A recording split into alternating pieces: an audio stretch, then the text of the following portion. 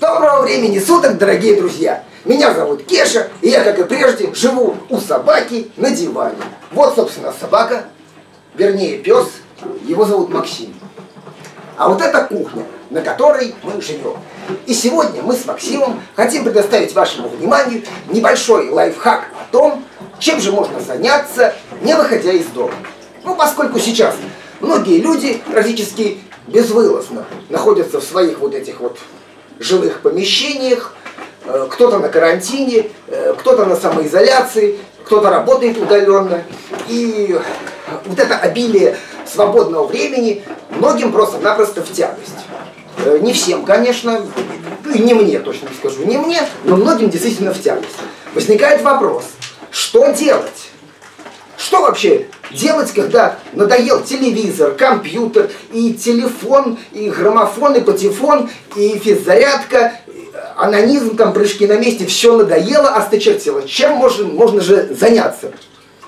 А я вам отвечу. Можно произвести переучет черепах. Как это делается? Очень просто. Сейчас я вам все расскажу и покажу. Для начала собираем всех черепах, какие есть у нас в доме, и начинаем считать. Типа того. Раз черепаха, два черепаха, три черепаха и четыре черепаха. И всего я насчитал таким образом четыре черепахи. Хотя должно быть три. Пересчитываем. Раз, два, три, четыре. Все равно четыре. Есть ошибка. Ощупываем черепах на предмет их реальности. Вот, самозванец. Ну, вообще бутафория какая-то. Не знаю, как она сюда попала. Все. Итого у нас осталось три черепахи. Все верно, ура! Переучет закончен. Данная процедура, она является очень важной, необходимой и весьма занимательной, как и само содержание в доме черепах. Почему это важно? Я могу объяснить, но для этого нам придется обратиться к основам космологии. В прежние времена астрономы и звездочеты утверждали, что наша Вселенная бесконечна, и кроме того она еще расширяется. Совсем недавно это утверждали, причем это совершенно непонятно, как она бесконечна, еще расширяется. Там существуют массы темной энергии, темной материи, а пролетев через центр черной дыры, мы попадаем в сингулярность и не почувствуем никакого горизонта событий. Бога. А сейчас уже многие это опровергают. И уже ученые говорят, что нет никакой темной материи. Вот нет ее, не существует. И кроме того, все чаще звучат заявления о том, что Вселенная, она все-таки конечна.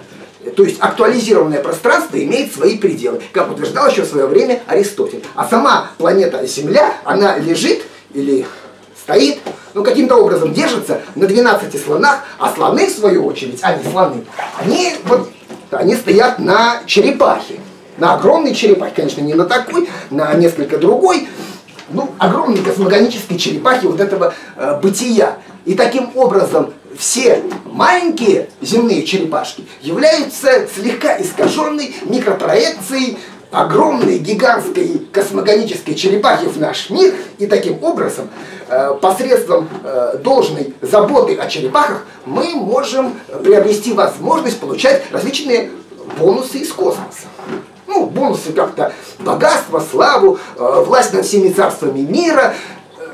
Ну, если даже не это в полной мере, то уж во всяком случае от коронавируса мы точно будем избавлены. И вот сейчас на ваших глазах я попытаюсь обратиться ну, к вот этому базису бытия. Посредством, конечно, моих маленьких друзей. Сейчас вот это. Эй! Ты слышишь меня? Большая черепаха!